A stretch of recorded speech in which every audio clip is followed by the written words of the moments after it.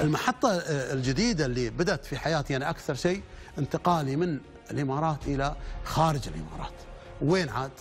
انتقلت إلى أمريكا. فأذكر في عام 76 انتقلنا مع مجموعة من طلاب الإمارات إلى أمريكا. يعني خيروني وين تبدس قلت بروح أمريكا. ما يعني ما كان في مجال يعني كان في مصر وغيره بس ما أدري كان كنا نبغى نجرب. قال لي يلا أنا وياي واحد من الأخوة من نفس المنطقة رحنا أمريكا. وعاد شوف هناك يعني نحن ما كنا نعرف يعني كنا صغار بعدنا يعني في حتى العشرين ما وصلنا. فيعني مجتمع جديد أشكال جديدة لغة جديدة كل شيء جديد علينا.